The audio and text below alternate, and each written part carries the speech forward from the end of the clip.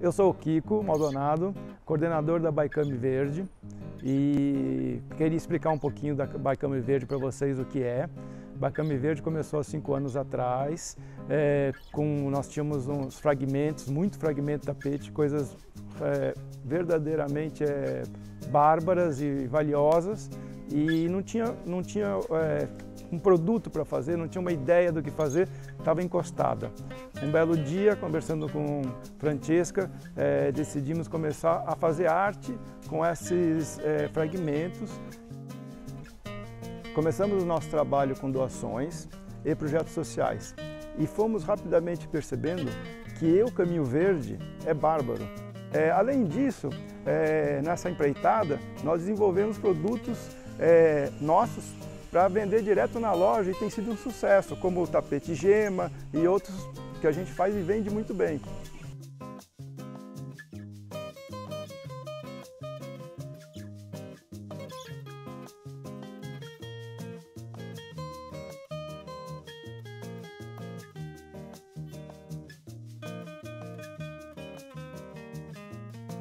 Aqui no, no Ateliê Verde, nós recebemos cada vez mais arquitetos, é, projetos cada vez maiores, mais interessantes. A cada arquiteto que a gente recebe é uma troca de vivência bárbara. Um aprende com o outro, se soma e multiplicam as ideias. E é isso que acontece. Para mim, essa vivência com os arquitetos é uma delícia. É o meu dia a dia aqui no Ateliê Verde.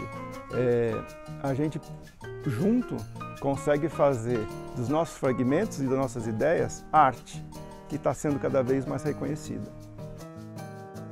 Nesse mundo que eu tenho o privilégio de trabalhar, o mundo da Baicame Verde, com toda essa exuberância de fragmentos, é onde a gente faz arte de uma nova forma.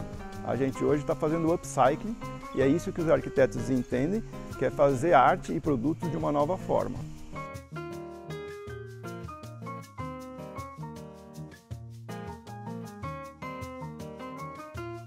Hoje eu estou super realizado de já ter chegado aqui, aqui que eu digo é em Milão.